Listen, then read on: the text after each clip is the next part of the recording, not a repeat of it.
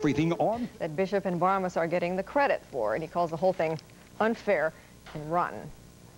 Good news today for President Bush. The results are in on the cyst removed last Friday from his right middle finger. Doctors at Walter Reed say that the growth was benign. And the president got that word at Camp David, where he is spending the three-day Columbus Day holiday. Hosea.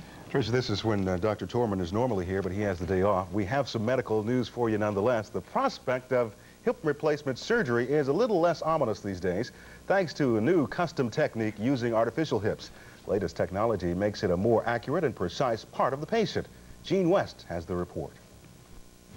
Irvin Age is the first person in Kentucky to receive the newest type of hip replacement. At 61 years old, an accident caused him to have an implanted hip prosthesis replaced with a customized total hip restoring device that should achieve a near 100% fit in his femoral cavity. Doctors say the new technique is a significant advance in the evolution of total hip replacement. We've been trying to improve the overall fit of the metal into the patient's bone.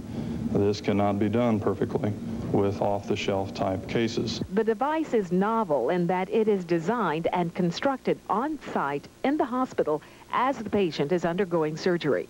A silicone mold is made of the inside of the patient's thigh, taken to an on-site lab, and in about 30 minutes, a laser beam scans the dimensions. A computer electronically transmits this data into a milling machine, which creates the joint to the patient's exact measurement. The device is then sterilized and surgically implanted.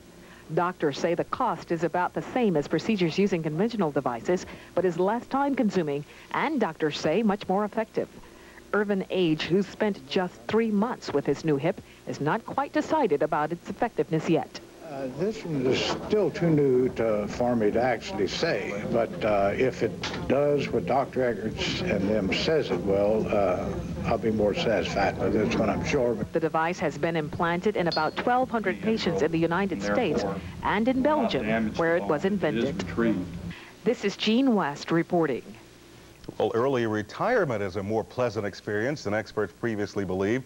That's the conclusion of researchers at Lehigh University and the University of Connecticut. Earlier studies reported that workers who retired early could expect such problems as boredom, depression, and alcoholism. But the latest research shows that 85% of early retirees are either satisfied or happy, and only 15% of them are dissatisfied. And uh, when Hosea and I come